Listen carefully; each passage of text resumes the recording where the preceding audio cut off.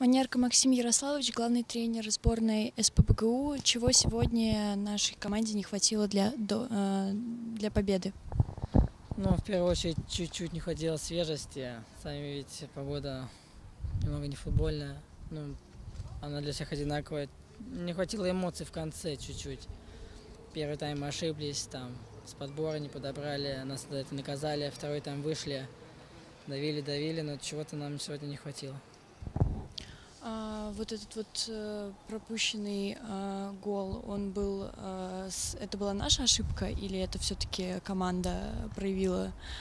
Знаете, как говорят, в футболе нет мелочей. Там где-то он выбил в середину, там где-то не подобрали, а выбивал, вот этого момента нету. И вот из этих мелочей мы пропустили.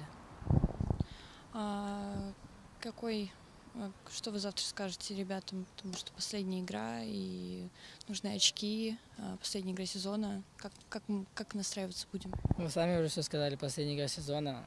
Мы боремся за стыки.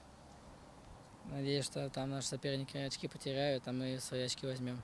Ну, я думаю, все сами уже все понимают. Спасибо.